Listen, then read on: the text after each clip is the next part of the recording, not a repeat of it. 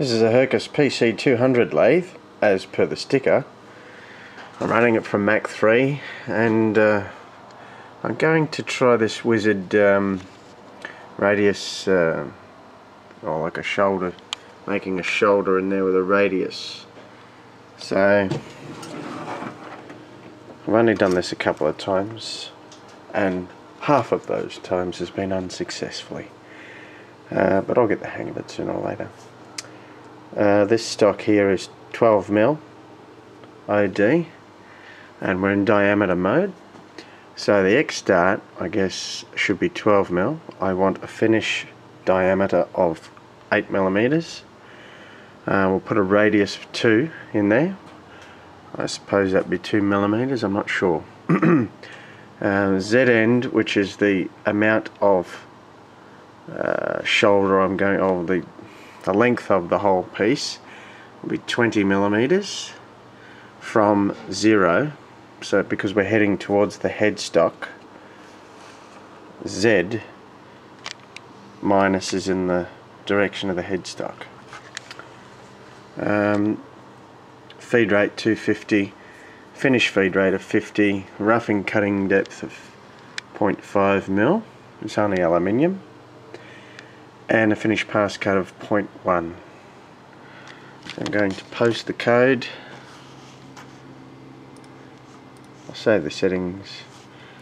Hopefully that is what we'll get. There's the path there. Exit, auto. I'll have to do it manually. And let's hope it doesn't crash.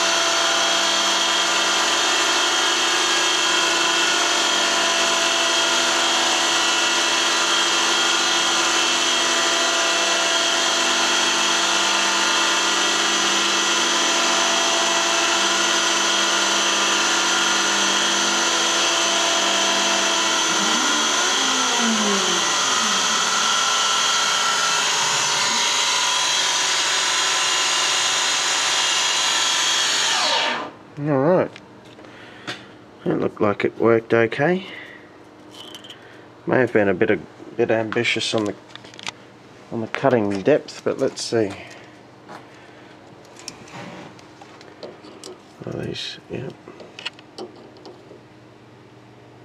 8.04. 8 point, oh, that's good enough.